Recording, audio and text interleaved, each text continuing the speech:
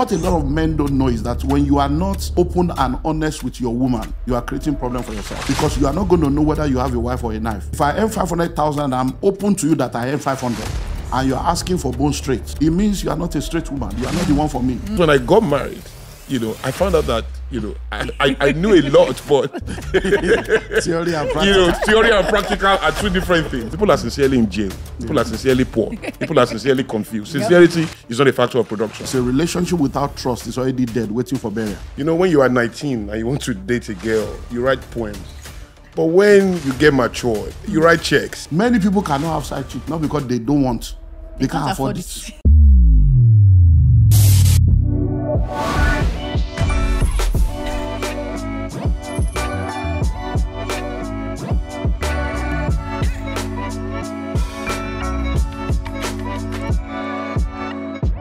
Hi everyone, my name is Toluwani and welcome to Truth Table. Today I have two amazing guests sitting with me today. I have Pastor Olumide Emmanuel, who is a Bible scholar, an author, a creative thinker, motivational speaker, a businessman and entrepreneur, leadership developer, counselor, and he is a general overseer of Calvary Bible Church. Welcome, sir. Thank you for being on the Yeah, Truth Table with me. me. and I also have Pastor Kunle or Kunle Sorinyan, who is a mentor, a motivational speaker, uh, and an executive coach to leaders and governments across the world and the globe. Welcome, sir. Thank you so much for being on the Truth you. Table with Thank me. you. I'm excited. So today we're going to be talking about the chemistry of finance in marriage. The chemistry of finance in marriage. I want to break the ice. so let's start with my money, your money, my money, my money. You know, this has been an idea that we've had or we've heard for a very long time. That when you get married as a woman, my money is my money. His money is our money. So, Pastor Olumide, what are your thoughts around that particular statement? Well, I think that statement um, will be dependent on the kind of marriage that you have. So, um, one of the things that we're trying to help people understand right now is you are either in a traditional cultural marriage, or you are in a contemporary marriage, mm. or you are in a kingdom marriage. Hmm. So, when you are talking of a kingdom marriage, that means two people have come together to become one. Yeah. So in a kingdom marriage, there is no my money, your money is our money. Hmm. So whatever money comes into a kingdom marriage is the family income. Hmm. Then the two people within the marriage will now sit down. So what God expects in a kingdom marriage is joint knowledge, joint planning, hmm. and joint decision making. Hmm. So in a kingdom marriage, every money that I have, my spouse must know about. Every money that my spouse have, I must know about. So we know that this is our family income hmm. that is available to us. Then we also now sit down to plan together. So there is joint knowledge, there is joint planning. Then we now sit down to also decide together how our family income will be run. So that's my. So when you say your money is my money, it depends on the kind of marriage, you run. You're running. Hmm. Yeah. Thank you for that. Pastor Kunle, do you think there's a direct correlation between love and money?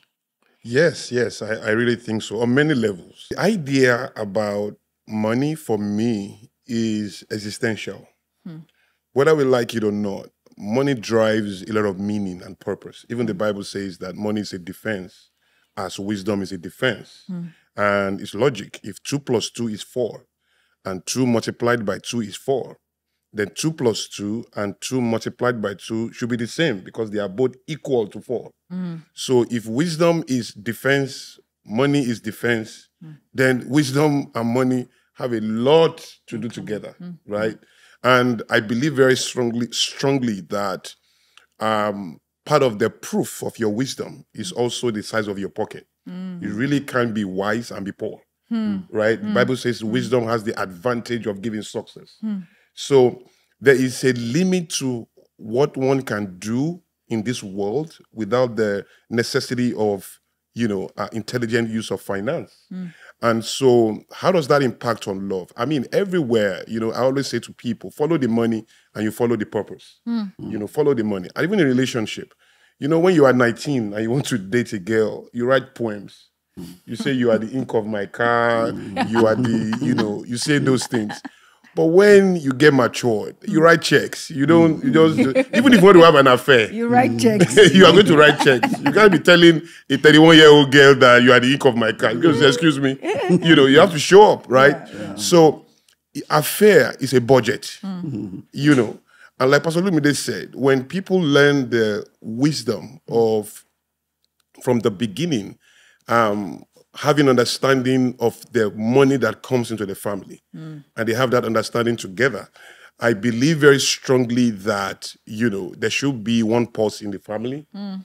and it will be difficult when everybody sees the money for somebody to write a check for a Porsche or for a house or mm. for to buy a business class ticket without seeing you What's know. going on? So at times I've seen couples. I know 26 couples in a family um, excellence system who run this particular idea. Hmm. And the fact is that you see that even when you are tempted, because I've spoken to these guys, even when you are tempted, you are close to a lady, you really want to go all the way, but you know money is going to follow this thing. and they catch you. And there's no way you are going to justify these expenses. Yeah. If you get away with it once, by the second time, the third time, you are going to have to be explaining yourself. yeah. So i- it's wise, um, it's safety, it's necessary restraint to be able to, apart from a lot of other, you know, economic issues, why it's just wise to be able to put money and love together.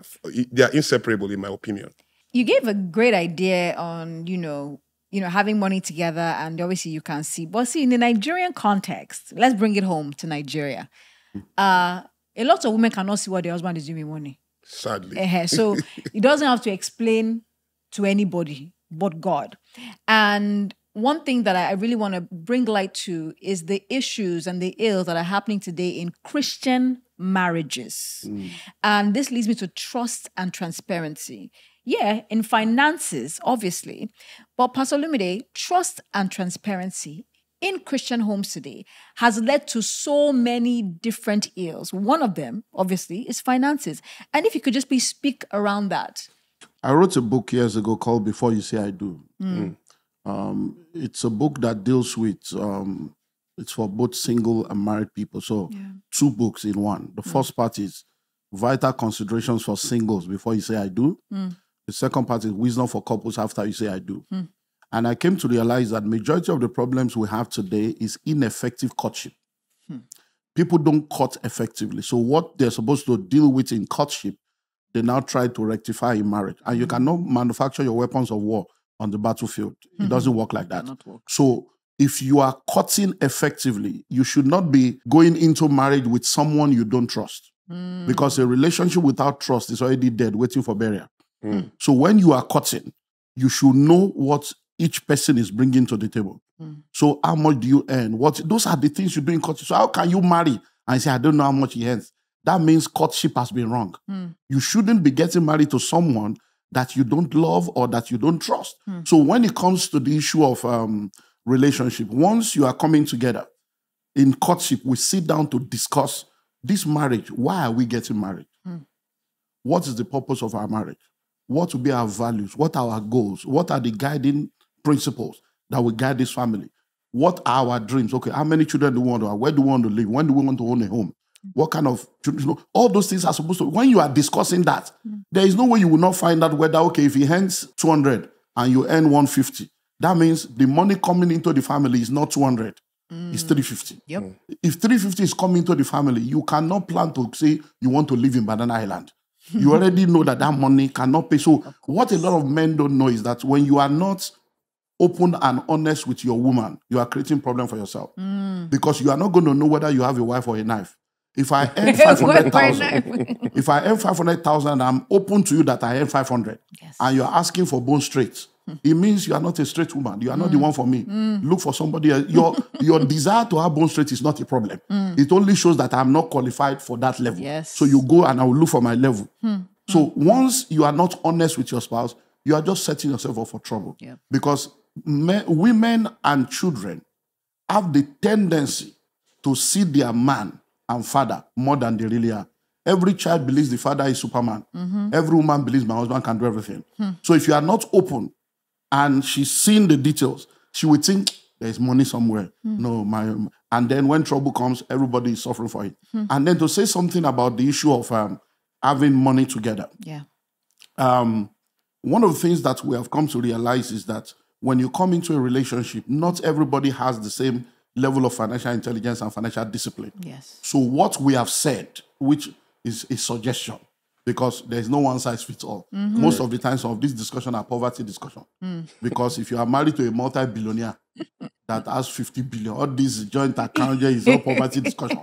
Somebody so if, how much do you want to? So really, it's just because majority of the people are still at the struggling level. So we have to give them guiding principles. Yes. So I advise, which is what I've thought over the years, that every family should have four accounts. Hmm. A suggestion. Number one, the husband should have his own personal account. The wife should have her own personal account. So that's two accounts. Mm. Because I personally believe that any relationship that robs you of your individuality is bondage. Correct. So you still need to be an individual. Point. A man Yes. joins a woman, they become one family. Mm-hmm. That is on earth. When you get to heaven, it's not Mr. and Mrs. Mm-hmm. You still have to answer your own personal. So man, woman hmm. come together. So that man should still be a man. Yes. I don't want I want to surprise you and I have to go and take money from the place where no no no. Hmm. So there should still be then they should have a third account, hmm. Which is going to be like an expense account. Hmm. Now, that expense account may work for some people, may not work for some people. Hmm. So, the expense account is the account that deals with every expenditure that we run. Yeah. So, it's okay, a percentage of your money goes in here, a percentage of mine goes in here, and that's what we use to run the family. Hmm. Whosoever is responsible for the running of the family manages that account. Yeah.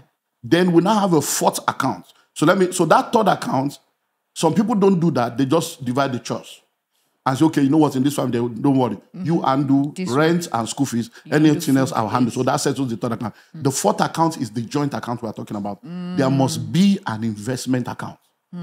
An account where two of you put a percentage of your income in, and no one single person has, has the power to pull out money there except to sit down and discuss.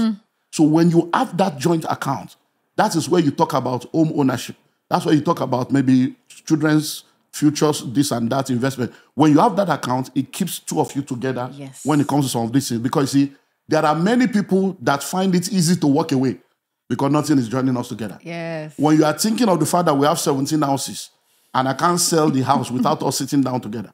When you are thinking of the fact that we have investment in this place where we have all signed, you would think again before you hmm. begin to say, I'm going. But when you live separate lives, it's easy. easy, to quickly detach and move on. Hmm. So those are some of the dynamics that we need to look into. So um, I've been in ministry now 34 years. By October, I'll be celebrating. I don't know when this will air, but I'll be celebrating 35 years in ministry in October this year. Hmm. And one of the things I've come to realize is that a lot of the things we're trying to settle in marriage, they should never have married in the first place. Hmm. You know, the Bible says what God has joined together. Let no man put us under. The one that God didn't join. God. Oh, On a- But once you have already married, you know, when when you talk about the will of God, the hmm. will of God is before you marry. Yes. Once you marry, it has become His will. Hmm, hmm. Whoever you marry, you have to mm-hmm. face it. So it's either mm-hmm. patience, endurance, or long suffering. Hmm. You have to now face it. So the best thing I would say to people is before you say I do, think well. because there are many people in marriage today that if they have an opportunity to do it over again, they, won't wouldn't marry the same person, they won't do it the same way. And that shows you that there are things they should have known Done, that they did not know. Maturity does not come with age. Mm-hmm. It comes with the ability to handle responsibility. Yes. Fantastic. And and and, and Pastor, you know, also is culture is also corporate. Culture. Culture is also corporate because a lot of our assumptions about love, about marriage, about even social exchange, you know, are traditional. Yeah. You know, we've been told, you know, it's just number. Even the woman is not expecting the man to be that transparent. Yeah. You know, I was going to just say that. That culture part. you know, it's so key. It's not even expecting it. Yes. Meanwhile, it's necessary. It But it's not trained like that. You hmm. know, you see your dad and your mom, the way they function and all of that. But the assumptions under which they did what they did was different from the assumption of the modern day life and contemporary life that we know today. Hmm. Right? There's so much pressure, so much eyes. We have social media, we have 24 hour TV, we have the internet, a lot of things that allow us to see and monitor our own progress and that of others. Hmm. So pressure is intensified. The way we exchange in society on a daily basis is now more and more complex than ever before. Right? The speed of change itself with hmm. the information age is putting us under a lot of pressure. So yesterday's wisdom is failing, you know, critically with Yeah. today. You know, but culture is corporate on many levels. And hmm. and like you said, the education is so key. You know, so even expand that, you know, I mentioned a, a family excellence system, you know. Um, um, to even expand what Pastor Ol- Olumide said, you know, about you know how to keep those four accounts. You know, we we also counsel that people should spend their money in percentages.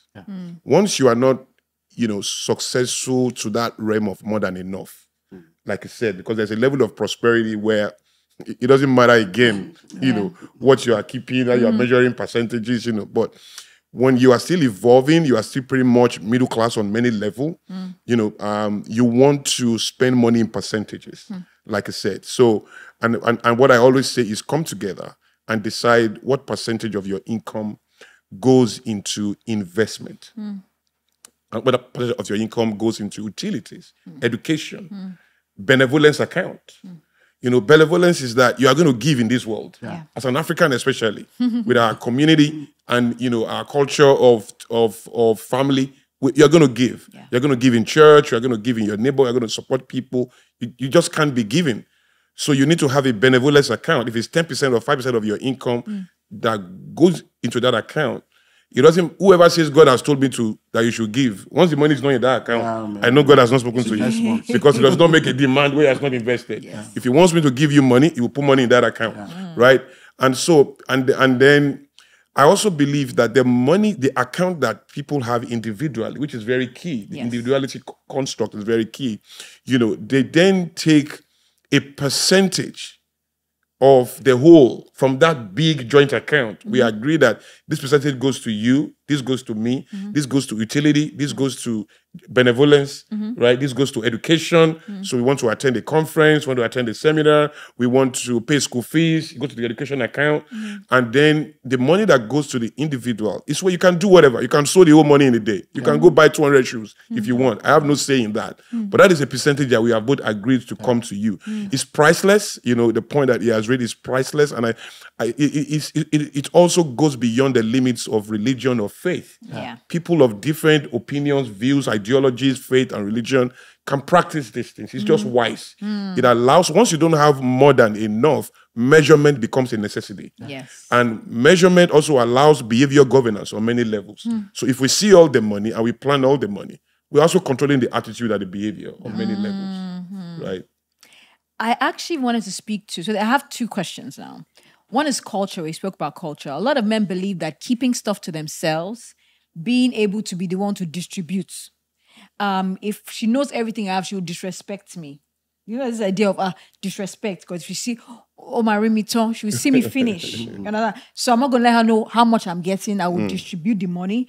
Um, how do we speak to that? Because culture is a big part of behavior today. In fact, more people are cultural than Christian. they use the, the word Christian to cover culture. so what we're seeing play out in marriages today is culture, what the, the male gender role is, what the female gender role is, and how everybody should walk within their, their parts to play. How can we speak to that? Well, we'll go back to what I said earlier on. Jesus Christ said, Why transgress the law of God with your tradition? What kind of marriage are you running? So, when you are running a traditional cultural marriage, then you are going to be a victim of the cultural beliefs and the cultural norms. So, growing up, many of us were made to believe, oh, the man is a provider. They didn't tell us what he was to provide. Hmm. We just assumed that provision is equal to money, and that was the software running everybody. So the man comes, is providing money, is not giving vision. Hmm. He's providing money, is not providing security. Hmm. He's providing money, is not providing direction. And you now realize that money cannot solve all the problems in the world.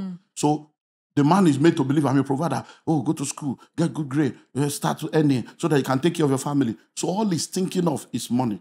Hmm. All he's thinking of is how to take care of family. Hmm. All of a sudden, he believes that my expression of love is the ability to put a roof over your head hmm. and put food on your table and clothes on your back. I don't. Be, that's why you now say I say people don't never marry an African man marry a kingdom man. Mm. Never marry an African woman, marry a mm. kingdom woman. Mm. Because when you are marrying an Afri- African man, you are marrying the culture he comes from. Yes, sir. And that culture will affect you. Hmm. So to an African man, you say, like, eh, these guys are not romantic. Ah, Omo, I put a roof over your head. That's romance. That romance. I put food on the table. That's romance because that's his that's his upbringing. He doesn't understand a love language, Valentine, buy me flower. What so is he a widow or he doesn't understand that because that's his culture. Hmm. And now his identity has been connected to his ability to provide. So when a man is now not able to provide in a cultural marriage, he feels less than a man. yes. So you now see the problem now as people are doing the japa, japa da, whatever. Yeah. So as they now go to the Western world, they now see a different context. Hmm. So the man that was a provider that believes that I'm a man because I pay rent, I pay this, I pay that, now goes into the Western world. The woman is now earning more. He hmm. now feels he's no more a man. Hmm. Why? Because what made him think he was a man was provision. Hmm. Now that he's not the major provider, he has lost his, man- his manhood. Wow. But in a kingdom marriage, you are not a man because of your ability to provide Yes, sir. because it's not money that makes you a man. Mm-hmm. God did not say, let us make man in our own image so that they can go and provide. That's not the reason. So when you are in a kingdom marriage, you understand that this man that I'm coming, you see, there are a lot of people today that have money to take care of themselves. If money is all that the woman is looking for, then if she has money, she's supposed to have everything. True. But even though she has money, she's still looking for a man. That means your presence in her life is more than the money that she has. Mm. So when you run a kingdom marriage, you will not have those cultural because those are- we go back to courtship. You will have sat down. Why are we coming together? Yeah. Why am I saying yes to you as a man? Mm. Then it will help us to settle a lot of all these things at the beginning. So culture is affecting us a lot. Hmm. So when you come into the kingdom, we now have to start reteaching people hmm. kingdom culture. Yeah. I did a series um, last year, part one to 25, the new rules of love. Hmm. The game is the same, but the rules have changed. Hmm. And even as pastors, there are many things we ourselves have taught that we are teaching now. Because we didn't know better. We are only teaching what we know based on our own interpretation. But as we're all growing, we are knowing better. Because see, life is lived forward but understood backward. Mm-hmm. That's why as you mature, you say, ah, if I knew what I know now, it means you are growing. Yes. So, and one of the things I dealt with in that is this issue of third party. I never allow a third party. And I say, come, this is an error. Hmm. How can you say, because in the same statement where they say don't allow a third party, in that same statement, they will say a marriage is between a man, his wife, and God. Is God not a third party? Yes. so what they should be telling us is be careful hmm. the kind of third party you allow. allow, yes, be sir. intentional about the case so that the third party will be someone that is spiritual, matured, and experienced enough to help you. So for me, it's something that we all have to continue to rethink and reteach ourselves. Hmm. So when you're in a family, we come together.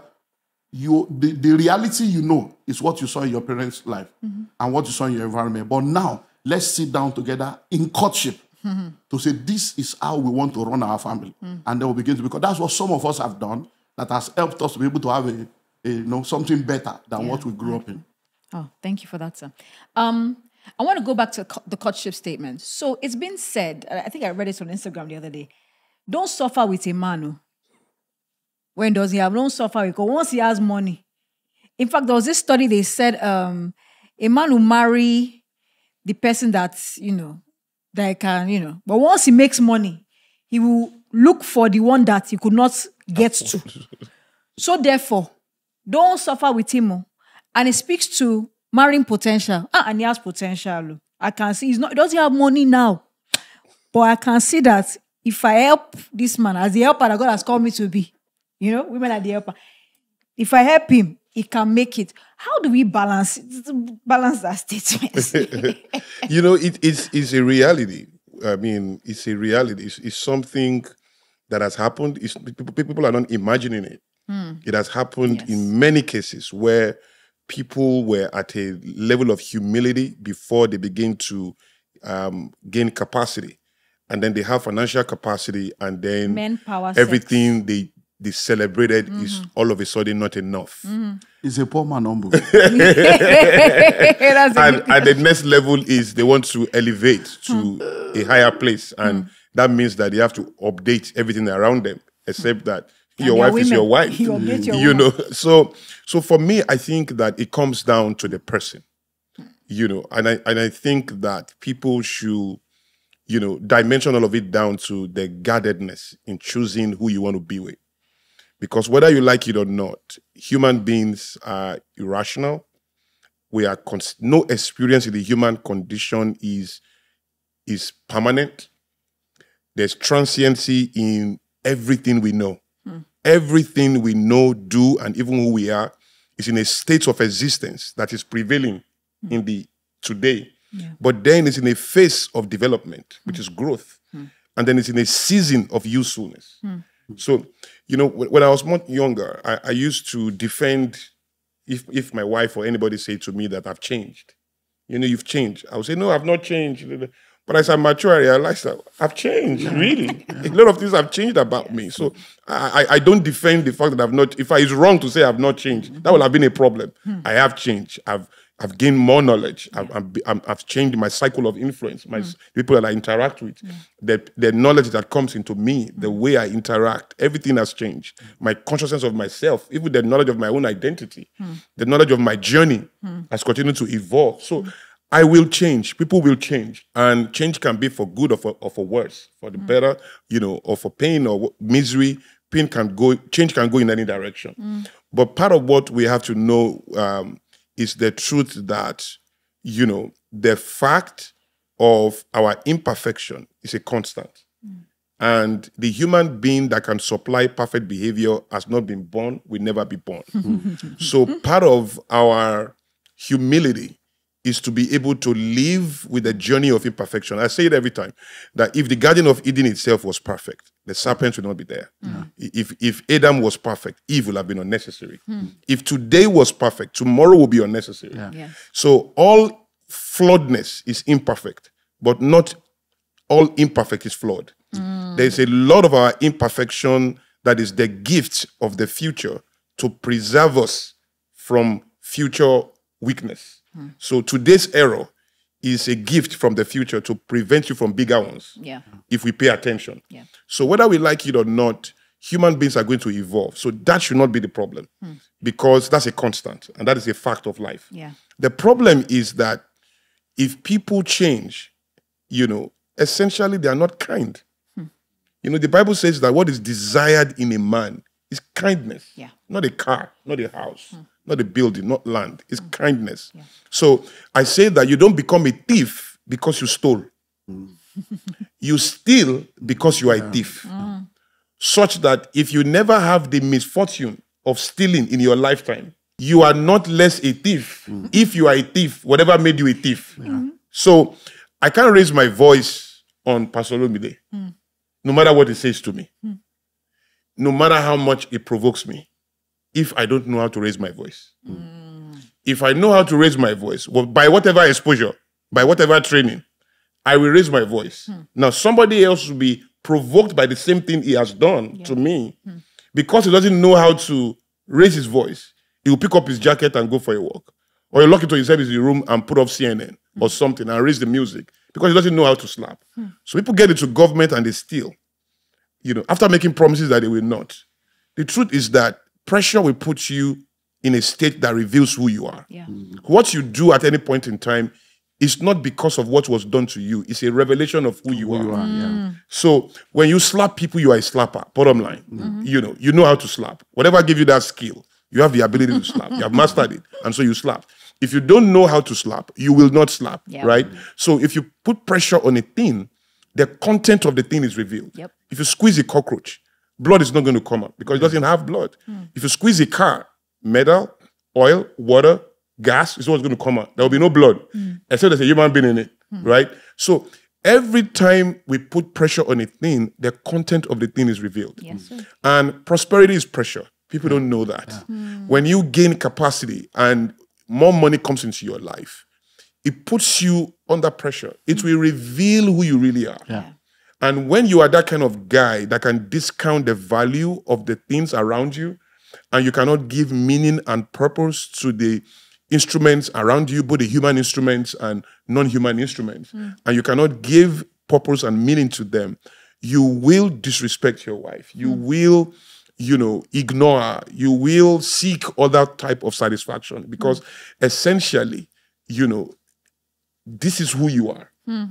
And this so called prosperity is now revealing to you. You can be meeting yourself at the that level for, the first time. Yeah. Mm. And people are meeting you at that level for the first time. A mm. lot of time is not even intentional. Yeah. you know? And that is why on many levels in that kind of picture probably all parties are victims. Mm. Victims of a lot of things. History programs you know culture so many things right so the best thing is to have that conversation. Pastor Obi spoke about courtship and the time to ensure that pastor Bimbo used to say courtship is for interview Not not, intercourse, intercourse, yes. Hmm. right? So you know interview is key. Hmm. But for some reason they say so much. I was you know, coordinated single and married with Pastor Bimbo, right? I traveled with her, I was everywhere. But for some reason, you know, humbly, I realized that there's just a gap mm. between what you know mm. and what you practice. Yes. Mm. You know, because when I got married, you know, I found out that, you know, I, I, I knew a lot, but Theory and you know, theory and practical are two different things. And I, I still had to. And so, even if God speaks to you, even if you marry the best human being, even if you marry an angel, you know, the responsibility to show up, to show up emotionally, to show up with strength and mm. character—it's mm. a constant demand. Mm. It doesn't matter what the foundation is. Even, even when you are sure it is God, it doesn't excuse you. I know God wants me to eat today, but if I don't go and cook the food, I'm just going to die hungry. So there's a responsibility that accompanies the voice of God. What God says is not a picture of what must happen. What God says is a picture of what can happen. Yeah. God giving, you receiving. God playing his part, you play your part. Then it will happen. And so the best of marriages suffer. And it's not because it wasn't God at times. At times it wasn't. It wasn't supposed to be. But even if it was supposed to be, if we don't apply ourselves at the level we should, we will sincerely struggle. People are sincerely in jail. People are sincerely poor. People are sincerely confused. Sincerity is not a factor of production, and it's not an independent experience, mm. right? We have to supply a level of clarity and intentionality mm. to the ideas we want to experience, regardless of the intent or whether God is with it or not, mm. right? And so I think people don't change.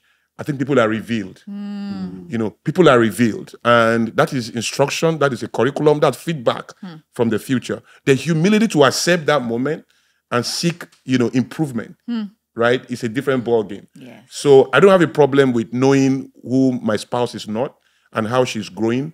It is her, her capacity to take responsibility for that. I don't, and I, I, I- I have a lot of forgiveness for myself. Hmm. I'm very tolerant of myself, hmm. right?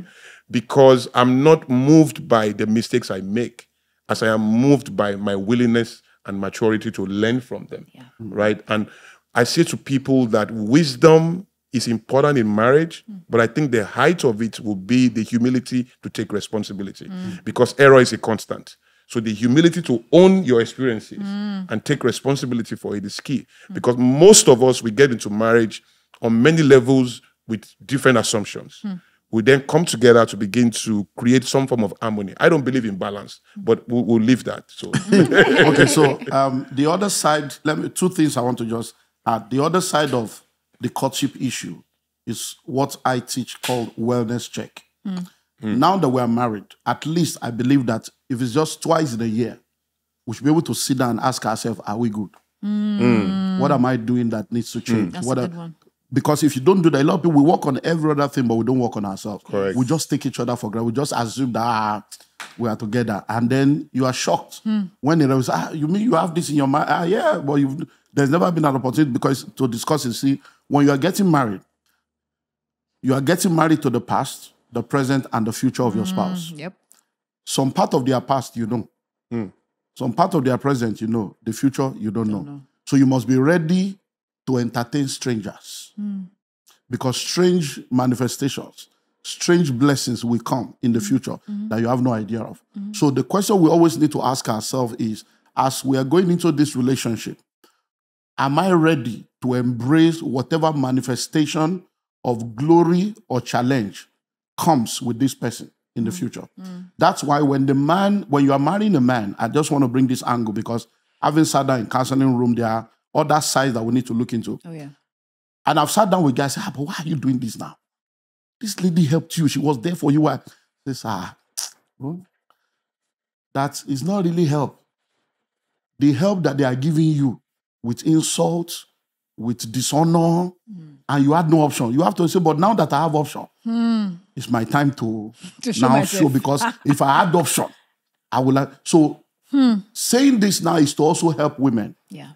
When you are helping a man, which you call, and when you say helping, you see, it depends on the kind of marriage we're running. In a kingdom marriage, where it's our family. So it's not about you are helping somebody, I help you to pay school fee. I- No, no, yourself. no. It's it's together. So because of whatever. So when you are supporting a man, helping a man, the attitude with which you do it is a seed that will produce an harvest in the future. Very So the fact that you are saying the truth does not mean you should say it anyhow. Mm. Speaking the truth in love, that's what kingdom uh, Yes. commun- communication is all about. So when you are supporting someone and they are growing, don't stop growing. Mm. Because most of the time you are supporting the guy, the guy is going for masters, is doing PhD, is changing his dressing, grooming himself, and you are giving birth to first one, second one, third one. You are throwing your body down. Go to school. I don't have time for that. Develop yourself. I'm not interested. Go and learn driving. Ah, maybe driver is there. And let's travel. I don't like code. So the guy is going high and you are just there. 15 years later, the guy is a global phenomenon and you're like a village woman. The guy now wants to be a governor. You are not presentable. Why? Because he was growing and you are not growing. Hmm. You were helping him to grow and you believe that that's enough. Hmm. But it's not enough for you to still be the same person you are. Hmm. You are supposed to also be growing so that the same way is growing, you are growing. And there is always something in you that continues to keep him Yeah. and draw him. So that's another balance we need to look at because sometimes, like you said, I wanted to say that that most of these guys they are also meeting themselves for the first time. Mm. Because you see, I ca- I like referring to my books. You know, Yeah. in the School of Money, I wrote an entire chapter on the dangers of success. Because people don't know how dangerous success is. Mm. When you don't have, that's why I say is a poor man humble. you don't know who is humble until there's money. Yes, sir. Every poor man, you have no choice. Poverty will humble you. Mm. But when you have money hmm. and you are humble, that's when I will know you are really humble. Yeah. Because money gives you options. Mm. Many people cannot have side chick, not because they don't want. They, can't, afford, it. when they can afford it, that's why you will know that there is side chickism. in the Well. So, so, so the question is, are you doing what? So wellness check very important. Yes, sir. Once you are married, twice in a year. Some we do that in our own family, twice in a year. And sometimes my wife will say something, and I'm like, oh, okay. Hmm. I didn't, I didn't know that. Oh, I'm sorry. Okay, I'll work on that. Mm-hmm. And sometimes I will say something, say, hey, ah, I did- I say, well, but if we don't have time to sit down, you're like, oh, I don't want to hurt him. I don't want to. Hurt him. You are sweeping everything under the carpet until the carpet is a mountain that everybody's tripping on. Hmm. Hmm. I just want to digress. It's getting interesting in my mind.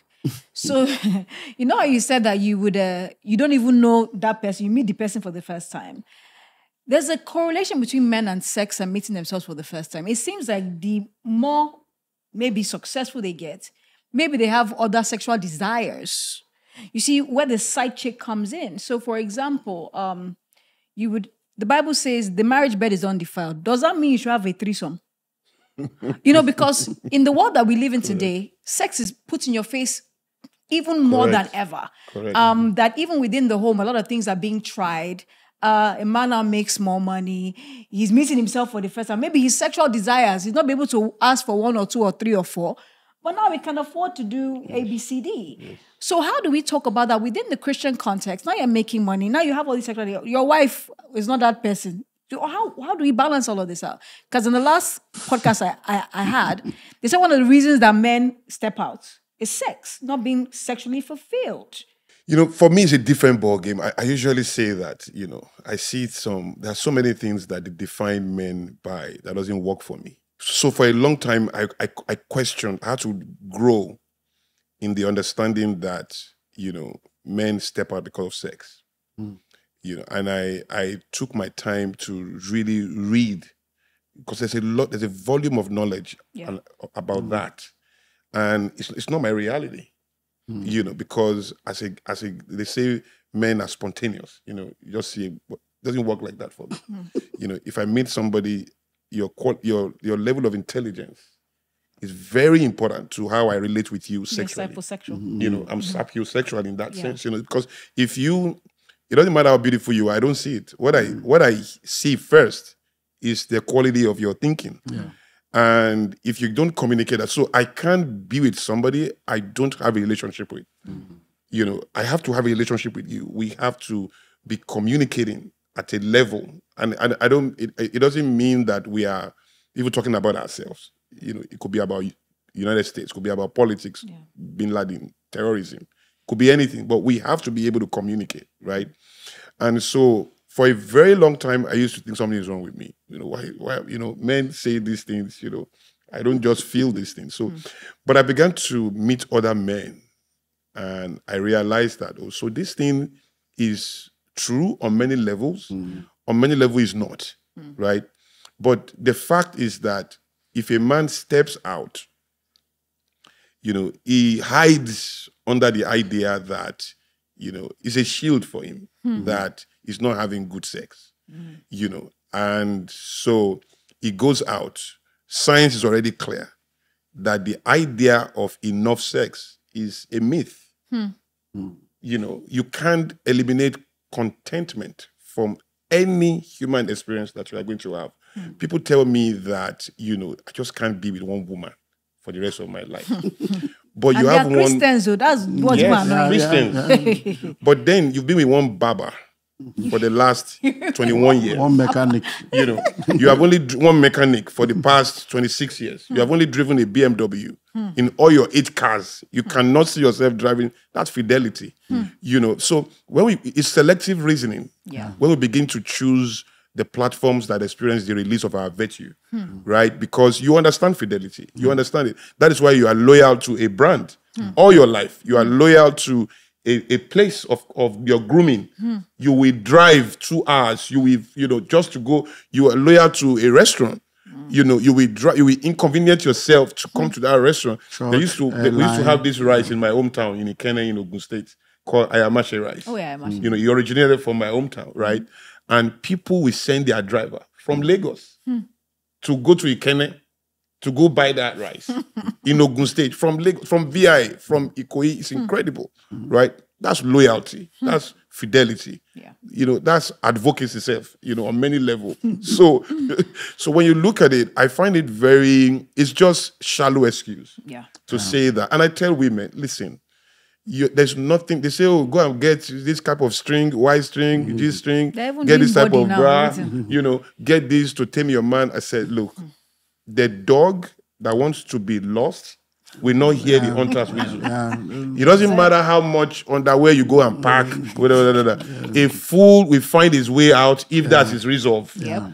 You know, so I I don't I I empathize with whatever the reality of the man is hmm. that is taking him out, hmm. but I refuse to underscore the fact that it is the wife in any way hmm. that is responsible for that. You know, I recognize the facts, but I can't I can't accept responsibility that it's because of what the woman is doing or not doing hmm. that is necessitating that, hmm. right? Because there are so many other problems you have. Hmm. You don't go out. You don't say because you are poor you want to go get a gun and go rob a bank. Yeah. You, you don't do that. You find creative ways within the boundaries of legality Yeah. to solve that problem. And that's how we solve most of our problems. It is the one that is pleasurable, that you know ministers to our nuisance, you know, and gives wings to our whims and caprices that we activate in the name of the irresponsibility of the other person. Yeah. Okay, so um, let me bring some. Number one, like you said, I'm not someone that supports any form of stereotype because most of the time there are no data to to support some of these things. For many years, people say, "Oh, men cheat, all men are dog," and I'm sometimes like I'm like, ah. In fact, I sit down and say, "Guys, you get side chick." I ask, some- see, I say, "Ah, but." This thing when they talk is like, are we mad? Is there something wrong with us? Because it's not our reality. So I don't believe in those so men cheat, all men this, all men that is a is a software that has been put in us, and we attract what we believe at the end of the day. Yes, sir. so all men don't cheat, all men don't cheat. And if you say all men, who cheats more? If you say men cheat more, who are they cheating with? Women. They're cheating with women. So you- Do you understand? So you you the hypocrisy of our world, hmm. you know, is so amazing. Oh, it's, it's just amazing. Hmm. So I want us to deal with some deep issues that leads to some of these things so that we can understand. Number one, when we don't do things the way the creator wants it done, hmm. these are the results. According to the plan of God, you are supposed to get married without any sexual experience Yep. to someone that has no sexual experience. Mm-hmm. So your first sexual experience is supposed to be with the person you are yoked with as one flesh. Yep. So whatever you find there is your reality. Hmm. There is nothing else to compare it with. Hmm. So when you are saying it's a two minutes man, who defines what? Because you have never been, there's the, even it's two minutes, that two minutes is your two hours. Yes. Because that's your reality. So the root cause, beginning from there, is the fact that Yeah. many of us have messed up. So by the time you are now getting married, you are on the bed with The your spouse, but there are 16 other people in that bed. Mm. And you are comparing the kiss, the moaning, the romance, the way to that of this one and this one. And then dissatisfaction starts from that point. And then there is no communication. Hmm. There is no discussion. So you hmm. have desires and fantasies that you are not communicating. Hmm. And it's becoming a problem. Because if you say that, say, ah, "Amon, what happened now? I will have done, I love this one. I, I, I, no, I can't do that, or we can't do this. Do, there will be discussion. There's no Yeah. discussion. So, number one, that's error of not doing it God's ways, number one. Number two, when you now get married, we need to understand your mind is the sexual organ, not your penis or your vagina. It's your mind. And once you get married, if you don't renew your mind, hmm. if you don't deal with your mind, you will get into trouble. Yep.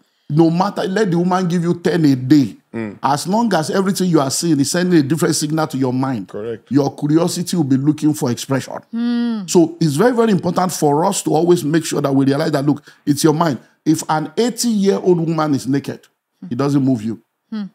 Dogs don't wear clothes. Animals don't wear clothes. Hmm. Why are you not seduced by their nakedness? Hmm. It's because your mind tells you there's nothing there. But when you see a young woman voluptuous, your body is moving. Why? It's because your mind tells you there's something there to explore. Yep. So we should work on our mind. And women should please not put themselves under that unnecessary pressure, hmm. of taking responsibility for an irresponsible man.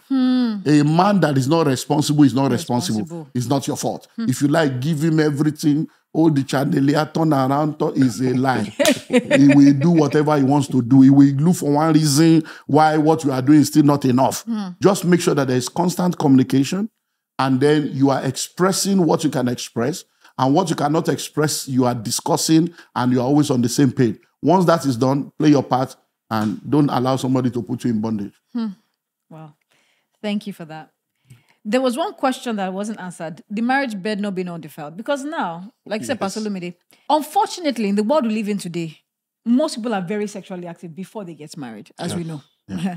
Their sexual appetite is on another level. um, but when they marry, they want to marry somebody nobody has touched. They want a virgin. but with the experience of ahead. Somebody that has not that experience. And in fact, I think the culture even celebrates that men are more experienced than women. Yeah. Um, and then you now get married and she's not meeting that your sexual appetite. Um, and then I had people ask, but the Bible say marriage bed is undefiled. I said the Bible say you invite another person into the bed. Because threesome. it's crazy. it's true because they say, okay, marriage bed is undefiled. they're That means inviting somebody else in their mind yeah. so I I would like us to just talk about the realities of today, um, in terms of sexual compatibility, and really and truly, I think how money play, comes into play is men feel okay now I have enough money to experience, or maybe these younger girls are more available or more willing. But the one you married, you married that because nobody has touched her. yes. I, if I heard a guy once say, "Oh, my wife is for the normal one. My wife is for the normal. That one is normal. I don't want to. I know. When I go out, I can do everything else." so, just talking to the realities of, of the truth of marriage today. it's just carnality and deception that's Yeah. just it That's because you it. see if you don't have what you love love what you have hmm.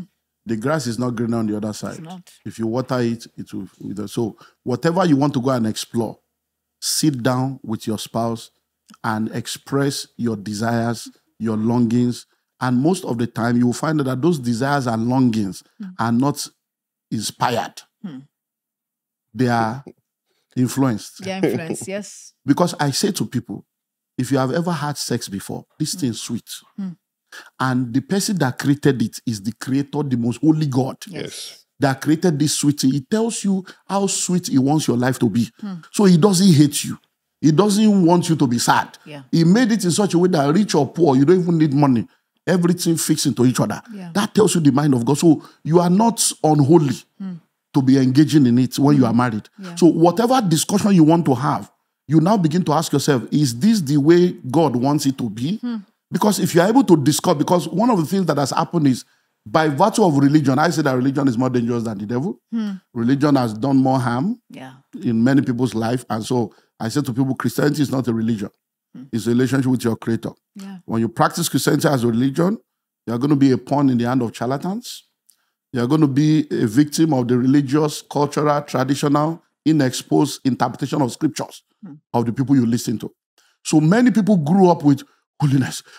Don't let a man touch you. So even when they are getting married, no marital counseling, no sexual counseling. So they enter and they are saying, Let us pray before this sin we're about to commit. God forgive us. So when you are entering marriage with that kind of mindset, Yeah. and so people have come and tell you, oh, Aura is right, Aura is wrong. People are now trying to legislate morality, hmm. legislate what happens in people's privacy. Hmm. It becomes an issue. Yeah. Before marriage, I go back to courtship. Yes. You will have sat down and discussed. There are tests to run.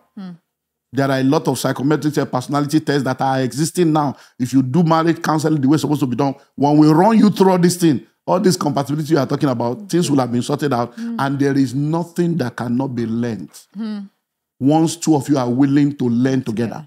And that's the way this thing works because, um, ah, I don't know. You see, God has taken me through a journey in my life. Hmm. Hmm. And it has made me to, you know, when the Bible says, when you are converted, strengthen your brethren. Hmm. I think there are some things that you go through, that's what you learn. Mm-hmm. Those that have never gone through will not comprehend. I am married now to someone that I married as a virgin. So I can tell you from two different dimensions that most of these things we're talking about, we are just being carnal and unrealistic. Hmm. When I got married, I could not have sex for the first six weeks of the marriage. Hmm. Why? She's a virgin. Me, I thought I was experienced, but I've never married a virgin before. Hmm. and I'm like, this experience, if I mess up, it might become something that will go on forever. Yep. So even though everybody was thinking honeymoon was going on, nothing for Semefa, man of God. For Semefa. Wow. We were just trying, okay. so now, when we sit down, we are talking, it's two different conversations. I said, Yes. look, don't see me as anybody experience. I don't have any experience. I'm also a virgin. I'm a- I'm a- so I don't have a- so I'm seeing the different now. There is nothing to compare anything to. Correct. Yes. Correct. Do you understand now? Because so I'm like, wow, this the so I'm the one that now has to work on myself. Yes. My wife doesn't have that problem. She doesn't even understand. So when it's like, I'm like, ah, this God is good. So it is a revelation to me Correct. Yeah. of the beauty of purity. Correct. That ah, baby, no, but she really, oh, but this my lifestyle, you know, all my journey Has caused has a lot of messed me up distortion. to a level where I have to be, and this person is just playing. And I'm telling you, it's a different buggy. Let's do it God's will. I'm telling you. Yes. Yes. And, and and the is. idea mm. of the marriage being marriage bed being undefiled, to is the marriage bed, and the marriage between two people. Yeah. So as long as those two people, not three, not four, as, as long as it's the marriage bed, the marriage defines only two people. Yes. Yeah. So as long as it is those two people in their bedroom, whatever they do is undefiled, right? Agreeing to what they will do is what the issue is. Yeah. Yeah. Whatever they do is undefiled. Whatever way they want to express themselves sexually, mm-hmm. as long as it's between husband and wife, Yeah. there is no sin in that. Yeah. But agreeing on what that should be, based on, like Pastor Olumide said, two different contexts from two different experiences, Yeah. has brought different assumptions, mm. right? So they, they have to be able to sit down, Yeah. you know, and understand their level of exposure, mm. you know, mm. Yeah. because their level of exposure, I, I, don't, I don't mean positive exposure to whatever you're not supposed to know mm-hmm. that you have come to know. Mm-hmm. You have to create some type of harmony Yeah. you know, uh, within that gap of understanding. Again, you know, um, I, I, I, the fact of pornography is also very key. Mm. And science is clear that if you, when you indulge in pornography, masturbation, it completely messes up with your mentality hmm. on many levels, hmm. both physiologically, mentally, emotionally, hmm. on many levels, right? Your ability to think clearly, um, to maintain drive and energy, you know, um, all of those things are taken away from you. You cannot keep strong focus when you indulge in pornography and masturbation. You mm. can't, no matter who you are, because mm. your brain is learning a different neural path Yeah. and is sticking to it. Mm. And you can't love a woman. You fall in love with your hand because that's what you use. Yeah. You know, so once you indulge in that, you are breaking your your resonance Yeah. with somebody else, right? With your spouse. So, you know, a lot of but you see, it's a shameful thing. People are not proud to say, "Oh, I watch pornography," or "Oh, I masturbate." Yeah. you know but there's nobody that is going to perform at a level you know and keep a habit like that Yeah. you know because it's small it defeats you on many levels Uh, you know we can analyze that tomorrow it will be fact you know so the the commitment to understand that you are married to someone goes beyond you know what you do physically even what you do you know um um in your mind like like pastor olumide said is your mind. That's your sex organ sexual organ. You know what you do in your mind you know being being able to sleep with five, 10, 20 women watching pornography and getting you know uh, um, to uh, to climax based on that, and you know de- deriving your your satisfaction based on that. It p- pretty much means that you have training every part of you hmm. Yeah. in variety, hmm. and so fidelity becomes a, prob- a, a problem on a daily basis. But because we don't communicate that, we don't talk about that. It's not on the conversation at all. Hmm. They then come together and begin to pick other issues Yeah as the issues that they have. You know, when it comes when when I look at pornography, it's the same way I look at money and communication. We don't identify those things as the problem. So we pick other issues to represent those mm. problems. So we never solve the problem mm. because the real issues we are not discussing at all. Mm. And for the most part, when people begin to have challenges with their marriages sexually, for the most part, I found out that there's so many people are struggling with pornography so many people are, but it's never going to come to the front burner of conversation. Yeah. You know, except somebody is bold to really engage them. Hmm. You know, and and that is not a a rule to say this is what happens every time, but a hmm. lot of times, you know, when you, when you get down to it, people get locked away from their spouse because they are dealing with somebody something else in private that is giving them all the all the connection. Mm-hmm. Of course, a lot of other things, disrespect, you know, um, can shut down a man hmm. mm-hmm. disrespect just because he really can't communicate his highest esteem in his own house. Mm. Yeah. A part of him can be broken from mm. that. Mm. And when he looks at you, he doesn't see, you know, that object for pleasure and meaning.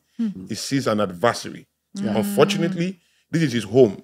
He can't respond to an adversary to his wife like he will respond to an adversary. So the only response is to shut down. Mm. That shutdown is safety mode Yeah. Mm. because if you if it goes beyond that, it's war. Mm. You know, and, and it doesn't want to get there, so it shuts down and it begins to shut down. Hmm. You know, and it, it happens to to women as well. You know, you you push a woman to a point, you know, and she gets to that point, she just shuts down Yep. Hmm. You know, and then it takes the grace of God, you know, some form of intervention, definitely counseling therapy to push out of that revelation or some kind of epiphany to push push out of that. But these things happen. And just speaking about respect, you see that word respect. Um, a man is in a home and he's not the main provider. The woman is not that she wants to be disrespectful.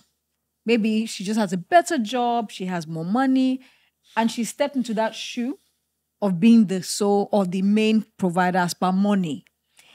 How do you um how do men handle that? Because I think in today's world, we're seeing that is beginning to break a lot of marriages because a man cannot handle the fact that he's not in that seat of being the main provider. Okay, we go back again. Mm-hmm. Cultural, traditional marriage, mm. contemporary marriage, or kingdom marriage. Hmm. As a woman, you don't have money. You want to do something. You ask me as your man, Oh, I would like to get this. I would like to get that. Yeah. Oh, I want to travel. Uh, can I travel next week? I'm thinking of going to. You ask me. Why are you asking me? You claim that you are asking because you are submissive, but you are not really submissive. You are asking because you can't afford it. Now you are a woman, you can afford it. You are no more asking me. I just come home, I see four bags. How was that? I just went to do shopping, I bought it, I bought that. Oh, wow. Hmm. So you can just do anything now. I'm no more relevant. You want to travel. You are not even telling me, eh, I didn't remember. To, I'm going to London today, oh, but I've already prepared food. And uh, oh, wow, you're going to London today. Oh, wow. So because you can afford the ticket now, yeah, that's those are the issues. It's not about the money. It's not about whether you earn more or not. It's about the attitude with which you go about it. Because you see, a man can spend money from January to December without complaining in the traditional and contemporary marriage, Yeah. not kingdom. But a woman spends just once or twice, the world will not laugh. it's like, eh, I don't know, everything's so expensive now. I say, ah. And you are like, but I've been doing this thing. I paid rent for 17 years. You pay for one year because I'm in crisis. And that one year, the world will end. Eh, even rent. But I've been paying for 17 years. I've never said anything. I just do it because it's like, why is it that you are doing it? Well, I've been paying school fees. Now dollar has changed. You have made myself, babe. I need ten thousand dollars. Ah, no, no, no, no, no. Ah, hello, is it not our children? so most of the time, why there are some men that have an ego issue, there are some men that are insecure that cannot handle a strong woman. Correct. That's the reality. Sometimes, most of the time, a lot of women don't realize that when you are in a traditional cultural marriage, a man's manhood is connected to two things sex, bedroom, and money in a traditional marriage, in a cultural marriage. So once the man cannot perform, he has erectile dysfunction, he can't do, you are talking two minutes, hey, have you finished? You don't come. Is that you are finishing the man. Because that is who, he- then he can't, he doesn't have, eh, so are you going to pay this one? Are you going to borrow money again. You are finishing the man. Because in a traditional cultural marriage, that is who he is. Ability to perform, ability to perform, money and bedroom. So once you are in a traditional marriage, anything you do, when a man does not have money, everything is interpreted financially. You are sitting down watching a movie. The man is sitting next to you. Everybody is laughing and enjoying. And then they show a beautiful house, a palatial mansion. And you say, wow, ah, when will I have this kind of house? Trouble. That's it. Why? Because when you make that kind of expression, now, are we saying you should be in bondage, you should not be free? No. But you should be conscious of your environment and who you are dealing with. If you are in a kingdom marriage, it's a different ball game. Because in a kingdom marriage, the couples are friends. Yes. In a cultural marriage, they are not friends. The one is boss, the other one is subset. But in the kingdom marriage, we are friends. Instead of saying what they say, I'm on, ah, I'm on, you don't call you relate you. just- My baby, check out bedroom here. Ah, my share here. You know, you'll be gisting and laughing. It won't be like, hey, They have said this. see women, see people. Huh? God, oh, when will I have this kind of house? The man will just hmm. shrink. Hmm. Because what you have just said is, you're not a man. Fair enough. Hmm. You can't provide. But you thought you were watching movie. And then the man changes. And then the next thing, are you ready for food? No, I'm okay. I want to quickly go and see John. He leaves.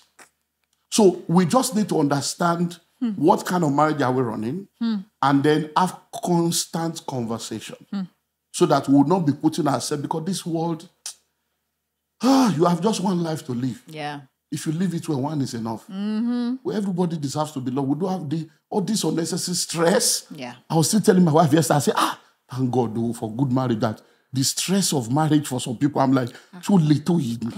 Why can't we be happy?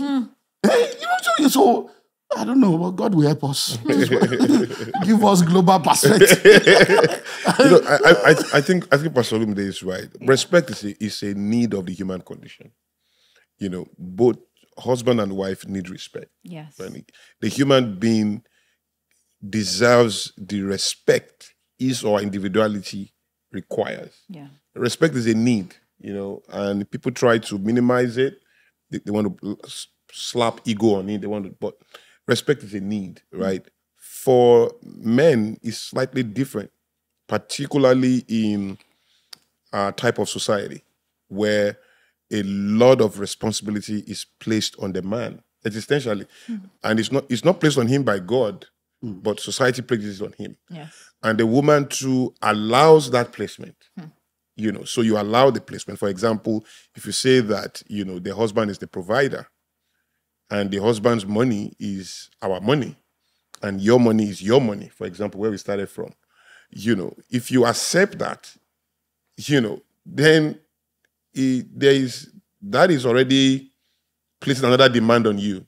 You have to then begin to honor that man as your source. Mm. And when the man begins to feel justified and therefore, you know, vexed when he doesn't get that level of honor, none of it is natural because ideally, the money of the husband is our money. Hmm. Your money is our money. Hmm.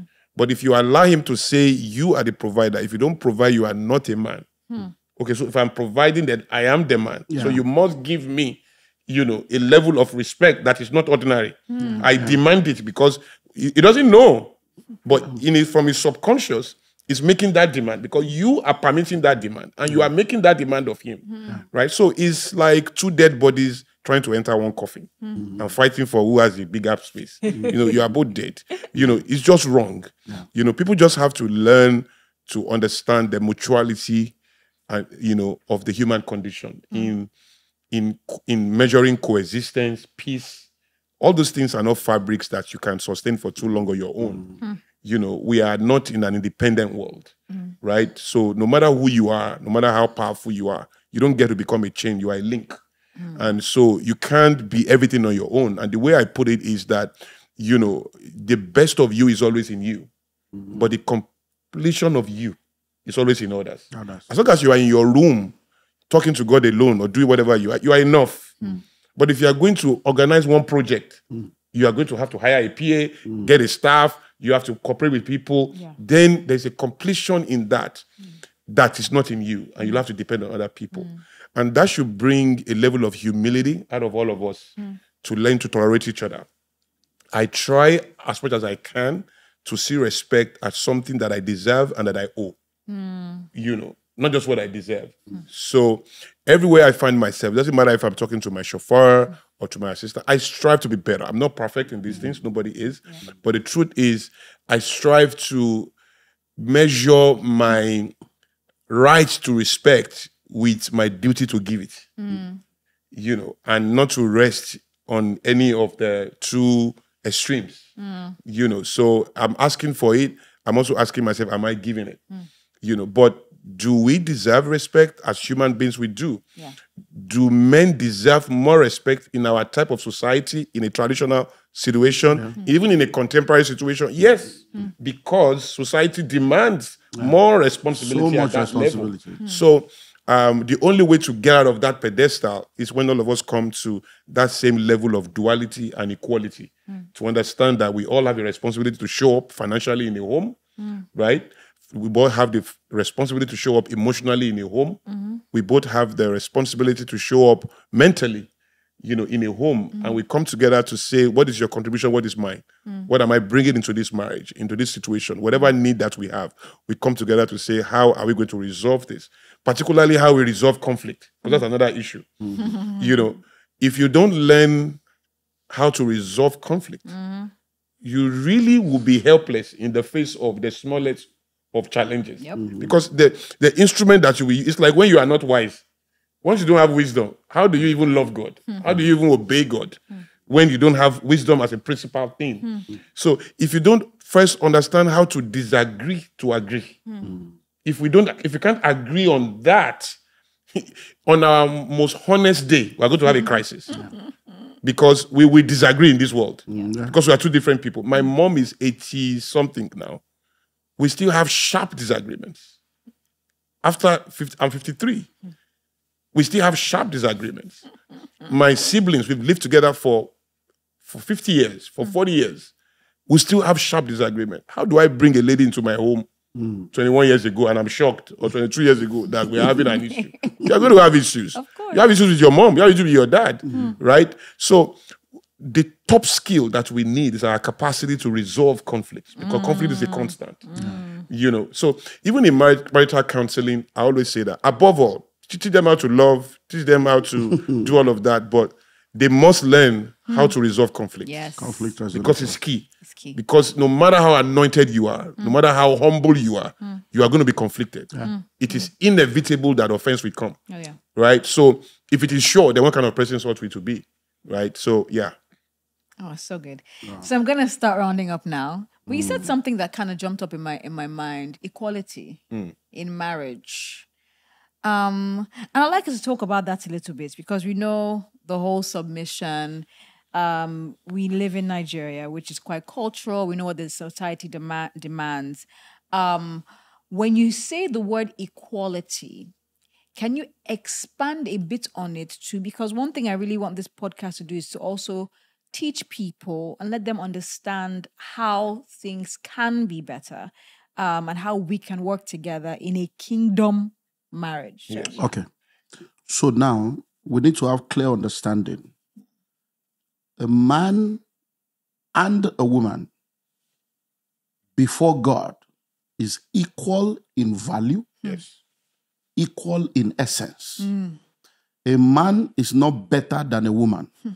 A woman is not better than a man. Hmm. We are equal before God and we are different. But now, when you now get into marriage, hmm. marriage is an institution. And every institution requires structure, system, and order. Yeah. The church is an organism and an organization. Hmm.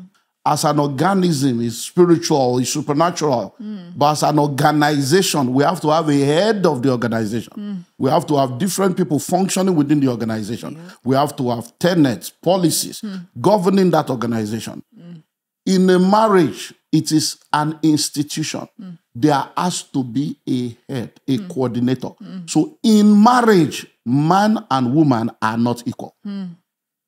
In a kingdom marriage, the man is given the responsibility to lead and guide that ship, not because he is better than a woman, but because two people cannot drive a car with only one steering. So, in the same place where everybody is talking about uh, love, submit, it started with submitting yourself one to another. That's where it started from.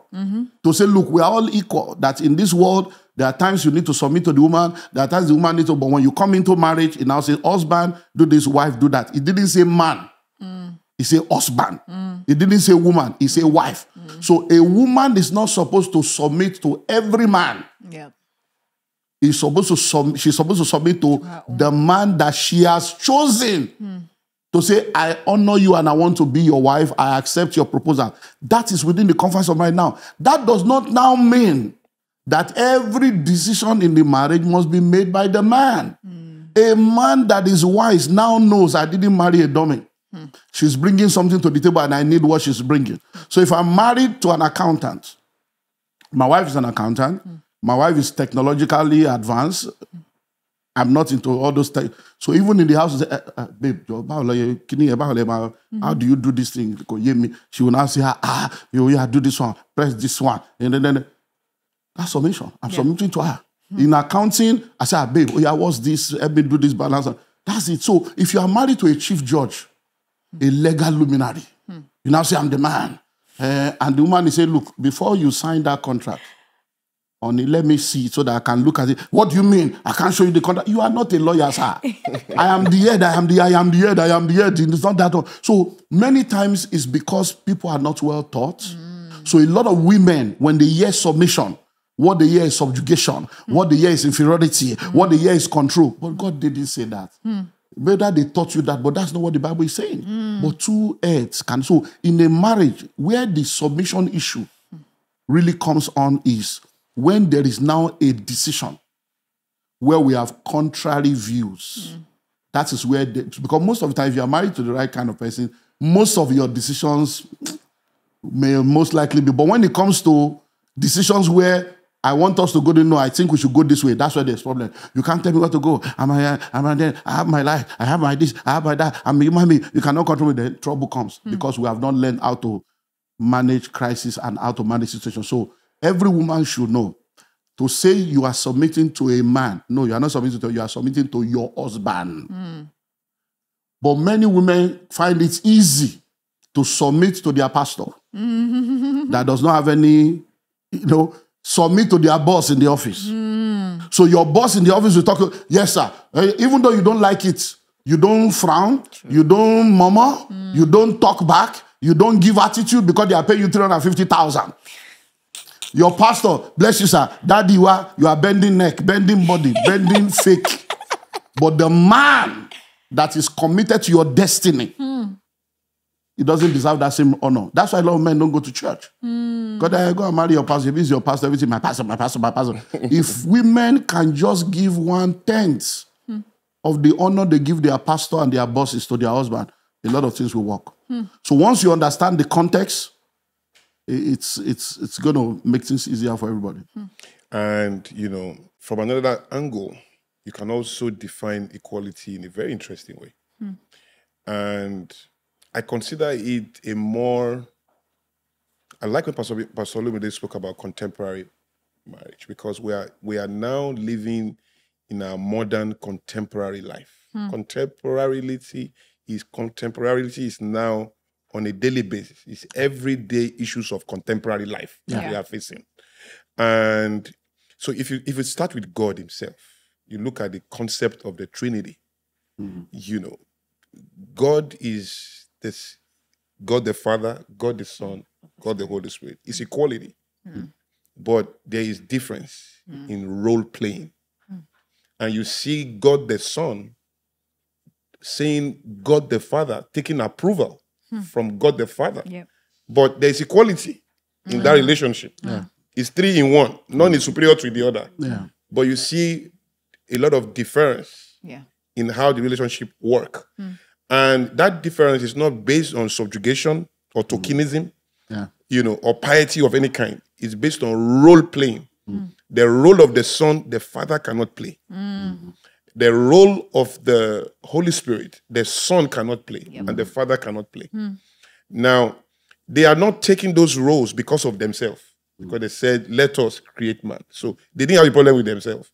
But with the human beings, the external factors that will experience them, Mm-hmm. they had to model a structure Yeah. for the world outside of them. Hmm. Mm-hmm. It's not for the world inside of them. Mm-hmm. It's for the world outside of them hmm. that the role playing became important. Hmm. They are not playing those roles to themselves. The Holy Spirit doesn't help God the Father. The Son doesn't help God the Father. The whole ministry of the Son is for the world, right? It's not for himself. So we have to be able to live in that duality to understand that there is an essence that defines you internally and there is an assignment that defines you externally. Hmm. And so once you understand that, you can live peacefully in your equality with other instruments around you hmm. and lean into your role. The Bible did not say two cannot work together except they are similar. Hmm. Except two cannot work together except they agree. Agreement runs the world. And two fools, you see, this room is working right now with this podcast because of mm. agreement. Yeah. We are all different people. But agreement gives everybody his role, mm. give everybody their posture, their Yep. positioning, and everything is working perfectly. Mm. And there is incredible harmony in this room because of agreement, not similarity.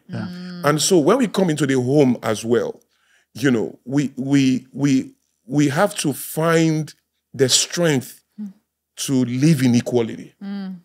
We have to, as human beings. I- it's impossible to negotiate power without that, you know, harmony. Yeah. See, the Yorubas have issues, the Igbos have issues, and because when you come to it, the Hausas have issues because we are seeking superiority, Yep.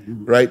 If we negotiate that from a position of equality, we can birth a different type of society. That's what is happening in America. There's no reward for being Texan or hmm. from coming from New York.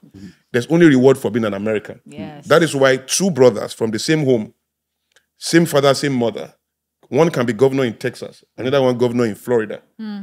They are both from the same ho- so- from, from the same home. It can never happen in Nigeria hmm. because the, the Americans don't reward indigenization. They reward uh, the American. So an Igbo man cannot be governor in Lagos State and be governor uh, cannot be. I mean, it's not impo- except it's a military rule. Mm-hmm. It's impossible. You have to come from there first before you can lead them, right? Because we cannot negotiate from a position of equality. Mm. And so when it comes to the home, you know, I believe that we have to deliberately lean into equality so that we can honor difference. Yeah. Now, role playing is key. It has nothing to do with your with your equality. You know, you can't play equal roles. All of us mm. cannot be the hand. Mm. Everybody, the body cannot be leg. So who will be the brain? Who will be the eyes? Who will be? It's about role playing. So what we do when we try to strike an hierarchical structure hmm. out of equality, hmm. it's like trying to seek which body organ hmm. is more superior. Whether it's the eyes, you tell me what you will do when your eyes is not there, or when you cut one finger off, right? So at the base of our coexistence, necessarily there is an equality we have to assume. Yeah. Whether we know it or not, we have to assume it hmm. so that it can lead us to our difference, hmm. right? So you come to, you see two partners in the business world, six people, four people have a business. Each of them have 25%, 25%, 25, 25, but they can't have four CEOs. Yes. You're right. And they are both in the company. Hmm. So somebody has to come um, amongst equal partners Yeah. to be the chief executive. Yes. And the remaining two will be on the board, one will be ED. Hmm. You know, and then they will have to function in that bracket. Mm-hmm. And then after 10 years or 15 years, the next CEO comes in. If he's still old enough, says, I'm too old. Get a younger CEO to come in. Yeah. You know, and that institution will work based on the constitution. Hmm. Right? So the oldest person doesn't pastor a church necessarily. Mm. Mm. The oldest person doesn't pastor, doesn't lead a country mm. necessarily. So we have to defeat those walls, you know, those brackets of superiority, right? We have to focus on our necessary equality as human beings and our necessary function in role playing. That role playing is not because of us necessarily. It's because we are going to engage a world. And in that world, doesn't matter, we can be eating each other in the house. the way people see us, the way they relate with us. If I see Pastor Lumide now, there's a level of respect I must give him. Pastor Lumide is a senior pastor of an entire congregation. Whether I like it or not, if Pastor Lumide is 15 years old, there is a honor that must come from me in the protection of the office he occupies. Otherwise, people who relate with him will disrespect him Yes. based on that. If we come into this room, you know, and myself and PT are just, you know, talking to Pastor Olumide anyhow, hmm. hitting his head, you know, saying, ah, well, before we finish this podcast, one of these guys here will misbehave and say something to him, right? The strength we are showing with him hmm. is not just for us. Hmm. It's also as an example for those who are com- coming in contact with him. So what I really believe is that equality is distinct. Equality is distinct away from function. Mm. And we have to be able to allow that equality. It's not a conversation. We are equal in that sense, right? Because we are human beings. Yeah. You know, and you can't, you can't, because if you if we begin to find, like Pastor Olumide said, the way God sees us is the way we have to see ourselves. Mm. As He is, so we are Yes. in this world, Yes. right? So we have to see ourselves that way. You know, but in function, in role playing, the CEO of a bank hmm. Is the CEO, is the head of the bank, hmm. but it's not given the responsibility to bring all the money. Salespeople do that. Marketers do that. Hmm. It's not given the responsibility to talk about the business the most. Hmm. He has PR and communications and comms who, who would do that. It's not given the responsibility to defend the organization in court. He has a legal team who will do that. But his job as head is to make sure that every resource available in this bank is functioning maximally and is releasing its highest potential. So when I understand headship, I shift away from hierarchy or superiority. I shift to you know uh, coexistence and maximization of capacity. yes. So as the head of a home, it is my job to make sure that this woman has her highest experience Yes. and is sharing her best self with the world. No, no matter how there's no way you can negotiate that away. You can't say the woman is rude. That's why you hmm. cannot do that. Hmm. Then You are supposed to manage that rudeness. Yeah. That's why you are the head. You will manage, Manage it and make sure that she's producing at that level. Hmm. Oh, she insults me. She's all of that. Ah, Then you are failing at this job because this is a, this is not a staff you can fire. This is a perpetual role. So, as if it's a staff, you can say you are disturbing me. Go. But in marriage, person has come. You have to. It's a, it's a demand on your wisdom. bridegroom, groom her. It's a demand on your wisdom. And when we have that as the common denominator, we can negotiate better on how we progress as a couple. Right? We can. You know, so yeah, yeah, and I agree with with Pastor Lubide totally on because I get the point, and I don't want people to misunderstand that. Yeah. The idea that God sees us that way, right? The equality that Pastor the the, that the man is equal, the person is talking about, is pretty much about the role that we play. Yes. So when the Bible says that the man is the head of the woman, it's not a title. Hmm. It's a demonstrative experience. It's the head of the woman. So how do you do that? You love the woman hmm. as Christ loved the church. Yes, yes. Because Christ loved the church is speaking to the head of the church. Mm-hmm. You right? And the when, when the woman and the, when the husband when the wife is supposed, supposed to submit to the man, you submit to the man not just on your terms, mm. not just on your preference, mm. but as unto the Lord. Mm. You know, so the woman should please just focus on playing that role, yeah. submitting to the man as unto the Lord. Mm. The woman, the man should just focus on that role, mm. loving the, mm-hmm. the wife as Christ loved the church. Yep. I don't think any man should complain that you are not submitting to me. I think you you you should any the man should be busy focusing on loving the woman. Loving. Yes. I don't think the woman should complain that the, the, the man does not love me. Mm. I think the woman should be busy, focus on Submit. submitting to the man. Mm. Your job is to submit to the man. The man's job is to love you. Mm. Now, when you are loving somebody, you don't love me on your terms. You don't give me a gift that you like. You give me a gift I like. Yeah. So to love me, to really truly love me, you have to invest in my head. You have to rent a space in my head. Mm. You have to live in my head to know the things I like. Mm. And then you, like somebody gave me a gift the other day. I called the person, I hugged him, I said, you know, I won't use it. you, you, this shows that, first of all, there's a level of uh, uh, low intelligence here because mm. I have assistants, I have so many people you can call to find out that I have four of these books. 4 mm-hmm. So how do you give me the fifth book? I have four of it from me, wrong giving of some other people. So you have joined that list. I said, so you can't do that. You have to do some research to know what I like. Yes. Giving is acceptable on the terms of the recipient, yeah. not the terms of the giver. True. So when you want to love, for God so loved the world that he gave, so you have to then come and give based on my terms. Mm. And if you get busy on that, I don't know. It will be rare. I know it's possible in the irrationality of the human condition, yeah. but it will be rare for a man to be giving to a woman on the terms of the woman, ah. and the man will not sub- and the woman will not submit, yeah. right? And vice versa. If a woman is busy honoring the man and submitting, and Olori my love, the love of my life, and giving him all the attention and all of the respect that he deserves, it will be difficult to find a man that will not love that woman, mm. right? So I think it's about role playing, and I think both. I mean, the couple, each of them should each the husband and the wife should get busy focusing on that role. And they will get the collective result that they should get. Wow. Wow. Wow. It's been such an amazing amazing time. I want to especially thank you pastor lumide thank mm. you pastor kunle. I've had a lot of fun listening to both of you speak such wisdom um, and I know that this session is going to really bless a lot of people. So, from the bottom of my heart, I want to say thank you for honoring my invitation and thank you for coming. And thank, thank you all for watching. Truth Table. You. God bless you. Bye.